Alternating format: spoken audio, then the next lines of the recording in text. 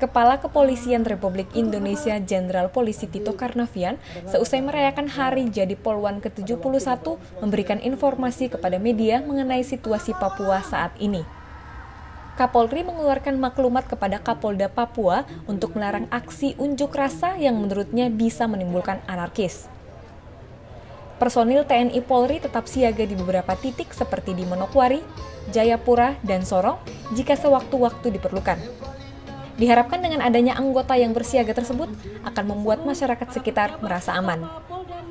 Selain itu, Kapolda Papua, Pangdam, dan Wakil Gubernur Papua juga terus melakukan dialog dengan pihak Papua dan paguyuban setempat. Sekarang situasi relatif jauh kondisi jauh lebih kondusif. Sekarang tahap rekonstruksi gubernur Papua khususnya wakil wakil gubernur Papua Clementinal bersama Pangdam dan Kapolda sudah banyak melakukan dialog dengan kedua belah pihak yang ada di situ. Ya.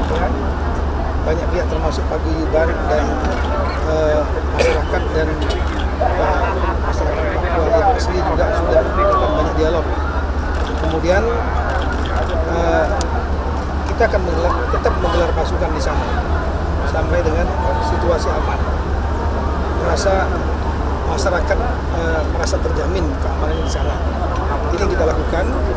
Kemudian tentu kita akan melakukan penegakan hukum bagi mereka yang menggerakkan uh, kerusuhan karena itu nggak boleh terjadi anarkis seperti itu ya. Penyampaian pendapat bukan berarti anarkis itu nggak bisa kita tolerir. Nah kemudian uh, juga dari Pak Wakil Gubernur ke Papua juga melakukan, mulai melakukan rekonstruksi pembersihan. Kemarin juga dari Polri dan TNI juga membantu pembersihan yang bekas-bekas kebakaran, pecah dan lain-lain.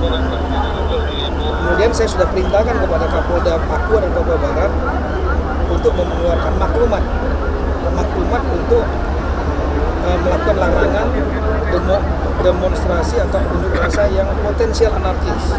Pengalaman dari kemarin di Manokwari dan di Jayapura kita niatnya baik memberikan kesempatan sesuai dengan Undang-Undang Nomor 998 menyampaikan pendapat tapi kenyataannya menjadi anarkis. Dari Jakarta, tim liputan Tribrata TV, salam Tribrata.